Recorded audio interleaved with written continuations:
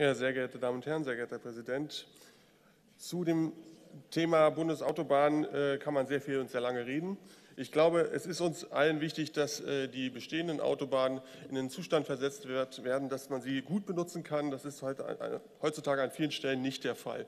Das ist quasi der Treiber dieser Debatte und damit wird dann immer argumentiert, dass man dort die den Aufsatz, wie man Autobahn verwaltet, dass man daran muss. Vielmehr ist doch aber das Problem, und das wissen wir doch alle, dass da eine Unterfinanzierung besteht beim Bestand, insbesondere beim Bestand der bestehenden Autobahnen, dass man die so pflegt und hegt, dass die gut benutzbar sind. Und damit wird jetzt begründet, dass man neues Geld, frisches Geld da reinholen muss und damit wird dann wieder öffentlich-private Partnerschaften und Ähnliches ins Spiel gebracht. Wir Bündnisgrüne stimmen dem vorliegenden Antrag zu, weil er nicht nur die Frage der, Privatisierung aufmacht, sondern auch noch weitere Fragen anspricht, die eben wichtig sind.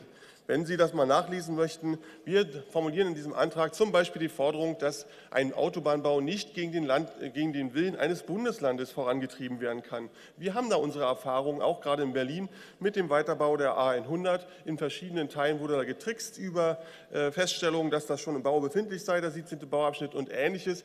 Da muss äh, von der Bundesebene Transparenz hergestellt werden und eine solche Autobahngesellschaft ist das genaue Gegenteil nämlich, wie das schon erwähnt wurde vom Kollegen Buchholz, die DB Netz. Da weiß man häufig nicht, was genau da an welcher Stelle passiert. Und diese Forderung nach Transparenz, die gilt nicht nur für die DB Netz, sondern die gilt eben für alle äh, Unternehmungen, die da von der Bundesebene kommen und die Länderinteressen berühren. Und deswegen ist es vollkommen klar, dass wir hier im Land Berlin uns eine Meinung zu diesem Vorhaben auf Bundesebene führen müssen. Äh, eine Meinung bilden müssen. Und das tut dieser Antrag. Der ist ein bisschen komplexer, vielleicht zu komplex für die AfD. Deswegen hat die gesagt, man muss einfach nur ablehnen. Wir haben hier einen Verhandlungsauftrag äh, für unseren Senat formuliert und deswegen ist der halt ein bisschen länger geraten von A bis G. Ganz konkrete Forderungen finde ich, da wollte, hätte ich gerne erfahren, wo Sie da konkreten Probleme mit haben. Sie sind da im Stückwerk geblieben.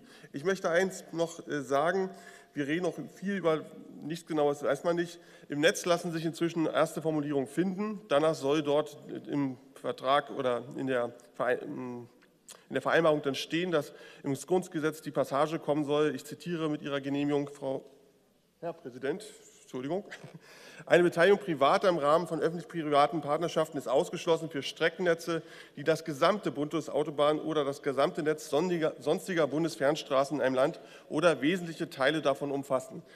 Wesentliche Teile davon umfassen, ganz ehrlich, das ist eine Formulierung, die alles offen lässt und äh, damit ist, wird diese Formulierung, die da bis jetzt anscheinend in Rede steht, nicht dem gerecht, was wir hier fordern. Deswegen äh, fordere ich auch von unserer Seite aus den Senat auf, da hart reinzugehen und zu sagen, das ist nicht im Interesse Berlins. Vielen Dank.